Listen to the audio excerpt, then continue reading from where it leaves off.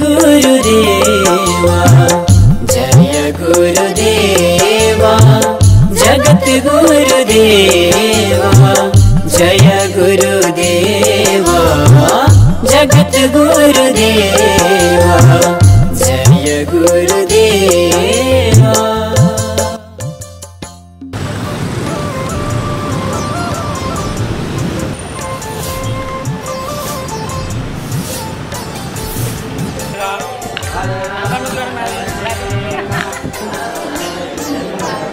आज निम्मार्क भगवानको पाँच हजार एक सय सोह्रौँ जन्म जयन्ती भव्य रूपमा हामीहरू मनाउन गइरहेका छौँ।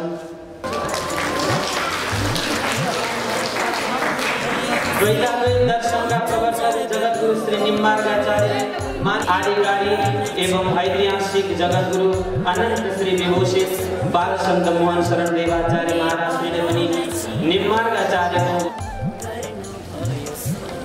जगद्गुरु का कार्यक्रम जगद्गुरुजीका कार्यक्रमबाट दीप प्रज्वलन कार्य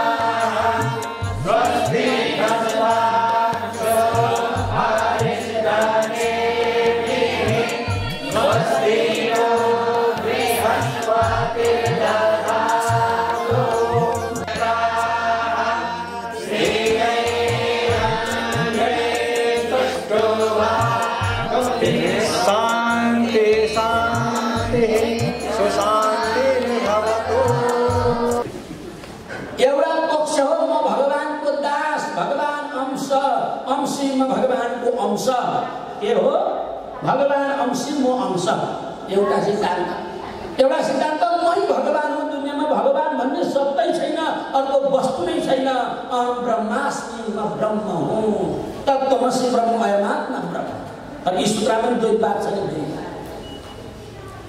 तत् त्वम असि त्यसलाई दुई आयो तत्त्व तिमी असि हौ त्यही तिमी हौ त्यही तिमी त्यो माथि पनि बस्दो रहेछ यहाँ तिमी नै त्यही हौ भनेर खोजेपछि त्यो द्वैत भाव आयो ती महावाक्यहरूमा द्वैत पनि छन् अद्वैत पनि छन् यस कारणले त्यो द्वैतवाद एकातिर अद्वैतवाद एकातिर दुईटा खडा भए बडा जटिल अवस्था भयो यो वेदको ग्रन्थ थियो वेदको ग्रन्थ चालिस अध्याय थिए एक थरी अद्वैतवादी आए एक थरी द्वैतवादी आएन भने यो वेदमा द्वैतवादी श्रुति वाक्य जति छन् त्यो म पोको पाएर जान्छु मेरो सिद्धान्त खडा गर्नु अर्कोले आयो होइन होइन म अद्वैतवादी वाक्यहरूलाई घर नहालो घर जान्छु र एउटा पार्टी खोल्छु एउटा सम्प्रदाय खोल्छु एउटा परम्परा निर्माण गर्छु भएर यसरी वेदमाथि अन्याय हो अत्याचार हो दमन हो वेदमाथि बलात्कार भयो त्यतिखेर उही बोलो भई मागे। भगवान्लाई करबद्ध प्रार्थना गरे प्रभु वेदको रक्षा हजुरबाट हुन्छ। किन? यो भगवान्को विश्वास हो कण्ठ भेदन निक्लिएको शब्द ब्रह्म हो वेद भनेको अपौरेशीय हो वेद भनेको। तपाईँ पुरुषोत्तम रचना गरेको हो वेद प्रभुको नाद हो वेद भगवान्। यो तपाईँको शब्द ब्रह्मलाई हजुरद्वारा रक्षा हुन्छ अरूबाट हुँदैन भनेपछि भगवान्ले हुन्छ म यस्तो केही सङ्कल्प गरौँला भनेर आश्वासन दिनुभयो। ती महान तपस्वीहरू थिए उनीहरू त्यहाँबाट प्रस्थान गरे र एकान्तमा बसेका बेला ध्यानमग्न भगवान् श्री कृष्ण महादेवले चक्रलाई सम्झिनुभयो सुदर्शन चक्रलाई। सुदर्शन चक्र साकार रूपमा मानव शरीर ढाँगेर खडा हुनुभयो हात गरेर हे भगवान् तपाईँको दास सामुन्य खडा छ। आज्ञा होस् प्रभु के का लागि स्मरण गरिबस्छु आँखा चिन्दैन भगवान् घनश्यामका अगाडि वासुदेवका अगाडि जब सुदर्शन चक्रले यसरी प्रार्थना गर्नुभयो उहाँले भन्नुभयो बेटा हे वत्स हे पुत्र वेदमाथि अन्याय हो सनातन धर्ममाथि आक्रमण हो त्यो वेदको सङ्गठनको लागि पनि धराधाममा जाऊ। प्रभु कहाँ जाउँ गोदावरी नदीको किनारमा मुङ्गी पैठन नाम गरेको ग्राममा जयन्ती नाम गरेकी माता र अरू नाम गरेका ऋषिका घरमा पहिला नारदी जानुभयो उपदेश दिनुभयो अरुषले तपस्या गर्नुभयो जयन्तीले तपस्या गर्नुभयो साक्षात सुदर्शन चक्र जयन्तीका उदरमा आएर प्रवेश गर्नुभयो र आजैको दिन कार्तिक शुक्ल पूर्णिमाको दिन सन्ध्याकालमा भाष्यकार निम्बार्काचार्यको नियमानन्दका रूपमा भगवानको कालीमाको अध्ययन भयो लामो कथा छ सारा कथा भयो ब्रजवासीकोसँग सङ्गत भयो उहाँ दक्षिण भारतलाई उत्तर भारत मथुरा वृन्दावनको गोवर्धनको तलटीमा आउनुभयो हे गोवर्धन कन्दरालय विभो माम सर्वेश त्यहाँ आएर तपस्या गर्नुभयो एक सय एक शास्त्रहरू आयुद्ध गर्नका लागि शरीरहरू आए शास्त्रार्थ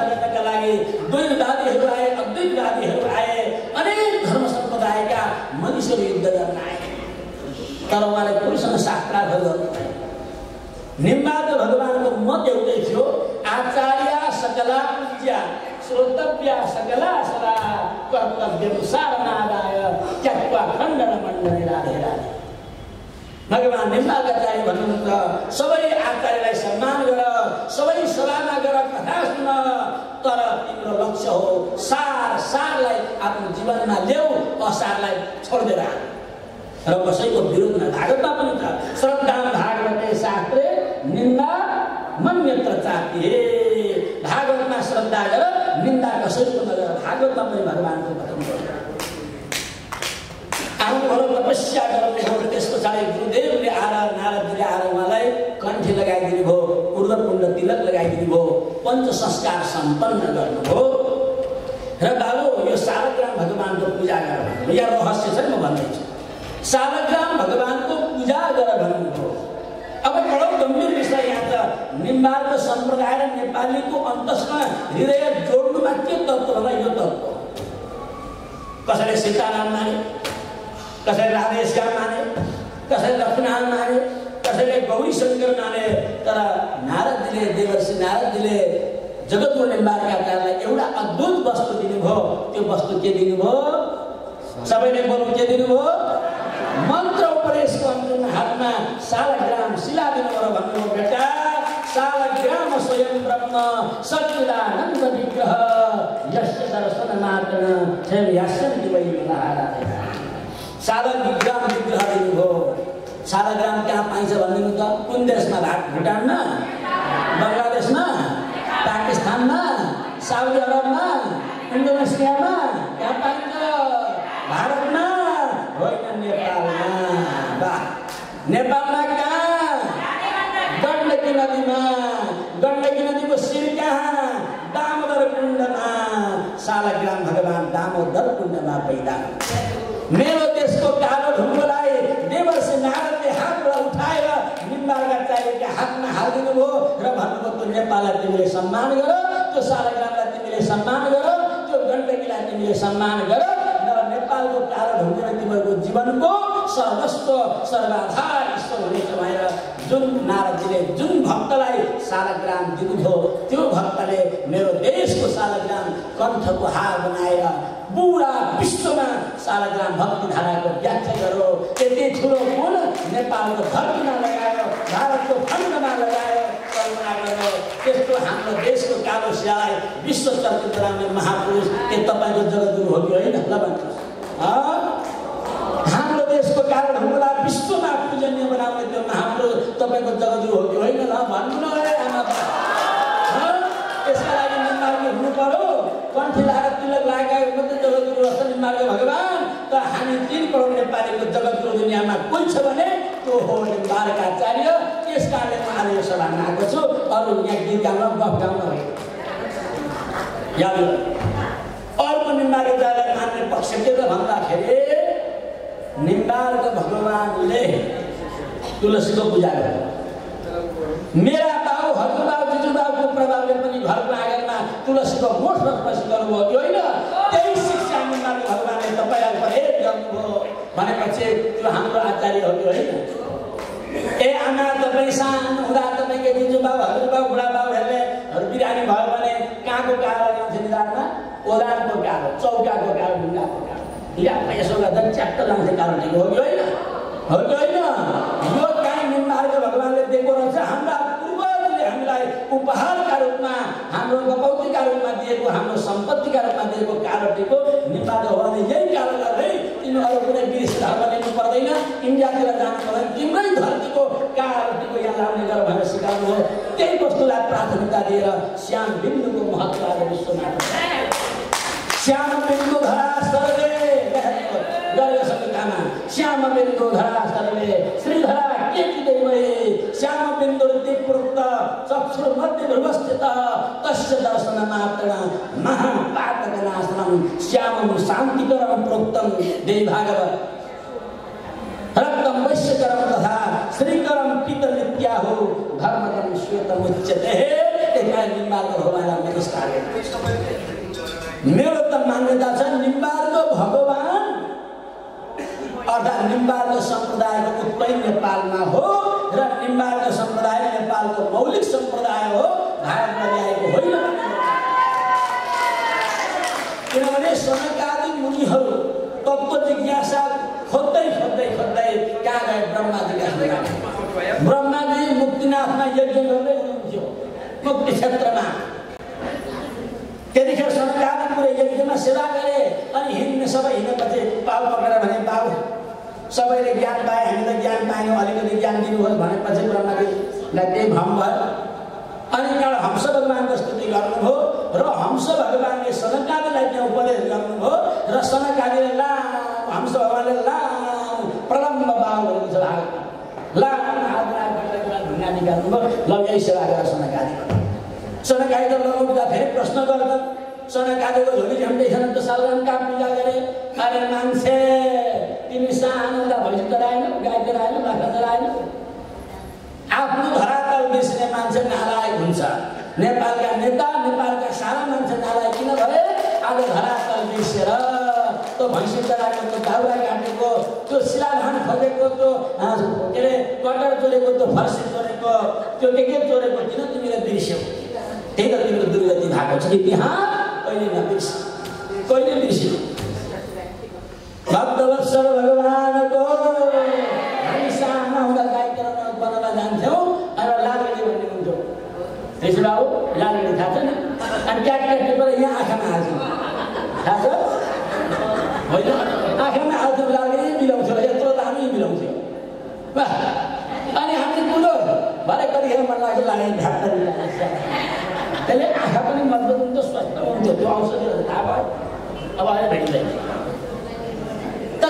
सनकादि मुनिहरूले हंस भगवान्द्वारा प्राप्त सर्वेश्वर प्रभुलाई आफ्ना नेत्रमा विराजमान गराइकन भगवान् कमल भगवान्को नामै कमल प्रभु त कमल जस्ता हुनुहुन्छ आँखा जस्ता जसका कमल जस्ता आँखा छन् एउटा कमल नयन भगवान् यहाँ विराज र कालान्तरमा नारदलाई केही सालग्राम दिनुभयो निमार्कलाई केही दिनुभयो र त्यो सालग्रामको भक्तिधारा नेपालको भक्तिधारा हो यो माटोको सम्मान हो यो देशको सम्मान हो यस कारणले मैले निम्बार्क भगवान्लाई मानेको अरू तिलक कण्ठीका दृष्टिले मात्रै होइन भन्ने मलाई लाग्दछ। अब अरू के के भन्छ थाहा छैन। अब दुई चाडा कुरा भनेपछि म सकिहाल्छु। है भन्छ है? यस्तो मौका पनि काम हुन्छ म गर्छु। अब यहाँ अब यो द्वैताको सिद्धान्त छोटो तपाईँहरूले स्वस्थानी ककरले भन्नुहुन्छ आजको स्वस्थानी स्वस्थानी ककरले सुनेको छ। सुनेकाले हातखुट्टा जोडले राधे राधे। स्वस्थानीमा जतिपल्ट स्तुति पर पर प्रकरण आउँछ हे भगवान् तपाईँ निराकार हुनुहुन्छ। यस्ता भगवान्लाई कोटि कोटि नमस्कार छ। हे भगवान् तपाईँ साकार भइबक्सन्छ यस्ता भगवान्लाई कोटि कोटि नमस्कार छ। भगवान् कस्तो रहेछ? निराकार पनि रहेछ साकार पनि रहेछ अब भगवान् निराकार साकार कसरी भयो। भन्दा एउटा हिन्दीमा दुवा छ भनिदिउँ एउटा हातमा पानी लिनु एउटा हातमा बरफ लिनु। एउटा हातमा पानी लिनु एउटा हातमा बरफ लिनु। यो दुइटै हातमा भएको पानी हो कि होइन? तर एउटा प्रकृतिका प्राकृतिक स्वरूप छ एउटा अप्राकृतिक स्वरूप छ। अब प्राकृतिक गुण स्वरूप छ एउटा एउटा निर्गुण स्वरूप छ। एउटा पानी पोखेर पोखिन्छ हराउँछ एउटा पानी डल्लो भएर फर्छ जस्तो बस्छ अब दुइटै पानी कि होइन हो भगवान् काल परिस्थिति भक्तको अधीनस्थ हुँदा साकार ब्रह्म निराकार हुन्छ निराकार ब्रह्म साकार हुन्छ ऊ जे पनि हुन्छ जलवत ब्रह्मको निर्गुण मान हिमवत ब्रह्मको सगुण जान। त दुइटै सिद्धान्तलाई स्तुति गरेको छ निम्बार्क भगवान्ले विचार गर्नुभयो।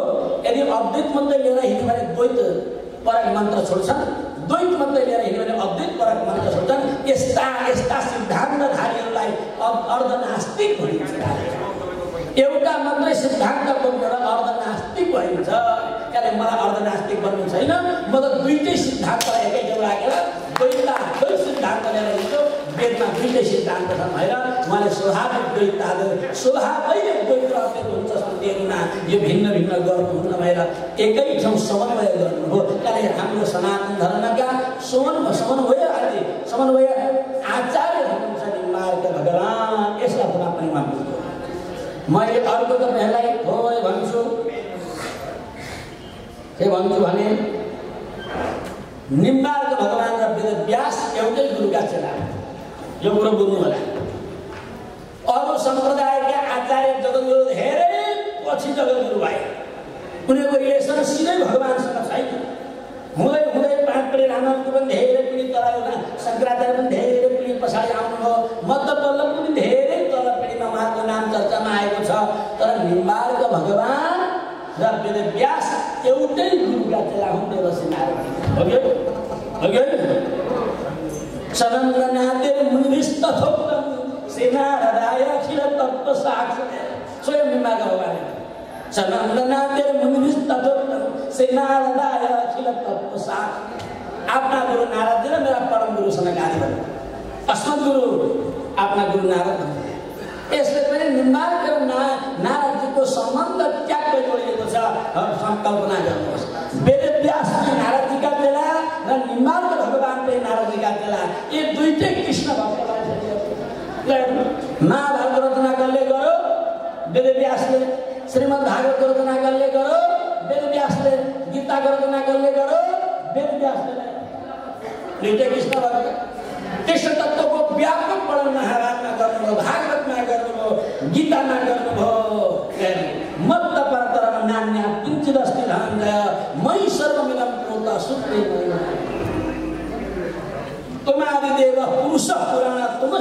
विश्वस्य परम निधान अब वेदव्यासले कृष्ण तत्त्वको त्यति ठुलो गहिरो व्याख्या गर्न निम्बाद भगवान्ले आएर के गर्नुभयो स्वभावतो पास्त समस्त दोष मशेष कल्याण गुणैकरा ब्रह्म परं वरण्यं ध्याये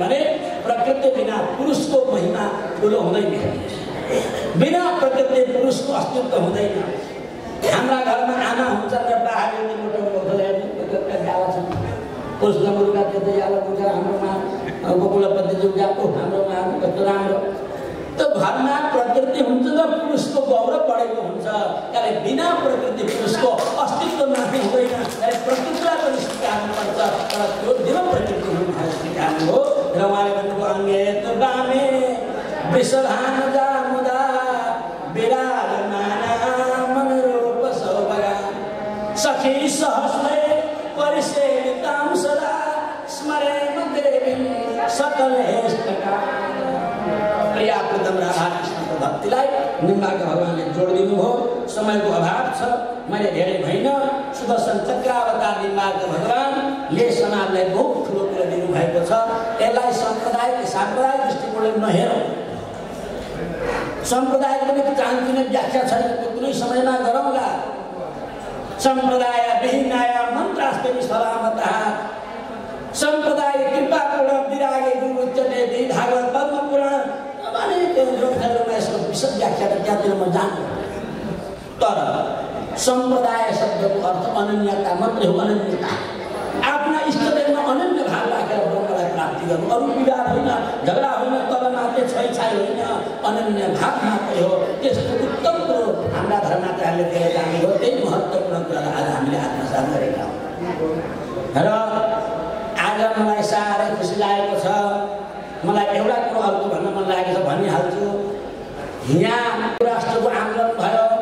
म पदयात्रामा थिएँ सुर्खेतमा मेरो यात्रा स्थगित गरियो र काठमाडौँमा आइयो एउटा माइती घर मण्डलाबाट यात्रा निक्लियो अर्को यो वनकारी पशुपति क्षेत्रबाट निक्लियो अर्को उता उता तिनकुनेबाट आयो हामीले संसद भवन घेऱ्यौँ पानीका फोरा खायौँ अश्रु ग्यास खायौँ पुलिसका डन्डा खायौँ देशको जगतगुरु पनि त्यो हिन्दू राष्ट्रको लागि बलिदान दिनको लागि त्यो खुल्ला क्षेत्रमा पुगेको थियो।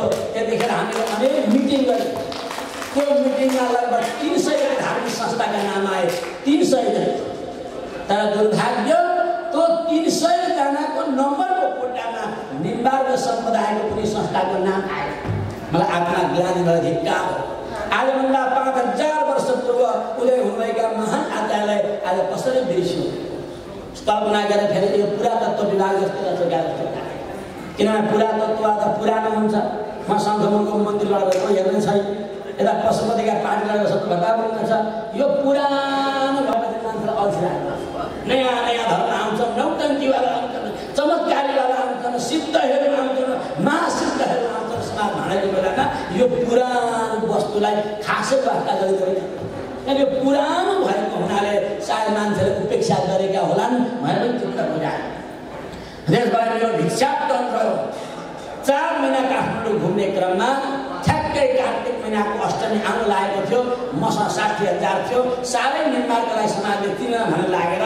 मैले केही यहाँ यो हाम्रो यादव गुरु लगायत चार पाँचजनालाई बोलाएर निम्बारको उत्सव गर्नु हो सबैले निम्बारका कार्यलाई जानु र भोलिका दिनमा सम्बोधन गर्नु सकोस् समाजले भएर एउटा उत्सव मनाइयो र यसरी यो प्रारम्भ भयो अहिले सुन्दैछु कोही गौरी घाटमा कोही हनुमान घाटमा कोही कुनीको घाटमा सुरु छन् अहिले सरम हुँदैन मान्छेलाई यदि निर्मातालाई चिनाउने इच्छा थियो भने आत्मविश्वास थियो भने त्यो निष्ठा थियो भने आजभन्दा पचास वर्ष पहिला सुरु गर्नुपर्छ यहाँ दमदार व्यक्तिहरू थिए कहाँ गएका थिए त्यो समाजले नक्कल पारेका छन् आडम्बर गरेका छन् यो आडम्बर नगरौँ एकजुट भएर हिमालय भगवान्को समाजलाई दिएको उत्कृष्ट दर्शनलाई हामी सबैले फलो गरौँ र उहाँलाई सम्मान गरौँ यसले राष्ट्र सम्मान हुन्छ सनातन वैदिक धर्मको सम्मान हुन्छ केवल हामी टुक्रौटे भएर एकाङ्गी भएर क्षमताहीन भएर समाजमा विशाल छाती बनाउन सकेर कुण्ठित बन्न कसैले नजाउँ भन्ने मेरो आग्रह छ।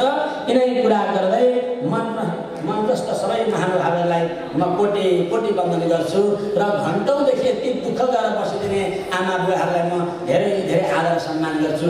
यो माया यो प्रेम यो सद्भाव तपाईँहरूको रहोस्। आगामी दिनको निर्माणका चाहिएको सब यस्तो होइन। सप्ताहव्यापी गर्नुपर्छ सात दिनसम्म र भगवान्को छत्र छायामा नेपालका एक सय एक विद्वानको अभिनन्दन हुनुपर्छ। एक सय एक महापुरुषको अभिनन्दन हुनुपर्छ। सबैले निर्माणको भगवान्को योगदानलाई कदर गर्नुपर्छ।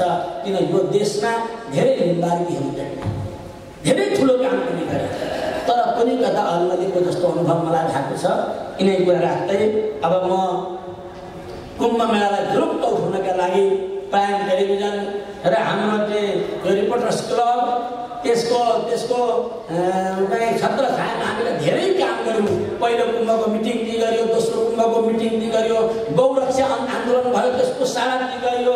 नेपालमा भएका बाल ज्योतिर्लिङ्ग कोशी गण्डकी प्रणाली खप्तड उग्रतारा त्रिपुरा सुन्दरी बढी मानिका वैद्यनाथ छाया क्षेत्र मुगु धारा ताल सुषमा सरोवर रौता पोखरी तारा पोखरी सालपा पोखरी सभा पोखरी माई पोखरी बोधकुण्ड दामोदर कुण्ड गोस्वामी कुण्ड यी सबैका इतिहास पौराणिक इतिहास जो मैले मिहिनेत गरेर खोजेको थियो त्यो हाम्रो ऋषि धमलाज्यूकै छत्र छाया बसेर राष्ट्रव्यापी गर्ने अवसर प्राप्त भएको छ त्यहाँनिर यस्तो ऋषिजीलाई कुम्भ मेला समिति र आज निर्माण जयन्ती उत्सवका तर्फबाट अभिनन्दन गर्ने कार्यक्रम छ। उहाँको अभिनन्दन पत्र चाँडो ल्याउँ त्यस प्रकार हामी भव्य रूपमा निम्बार्क भगवान्को आरती गर्छौँ। अलिक अलिक सन्ध्याकालमा हो। निम्बार्क भगवान् जन्मेको अलिक सन्ध्याकालमा हो। न शान्त परोस् आज एकछिन कीर्तन गरौँ र निम्बार्क भगवान्को भव्य उत्सव मनाएर यो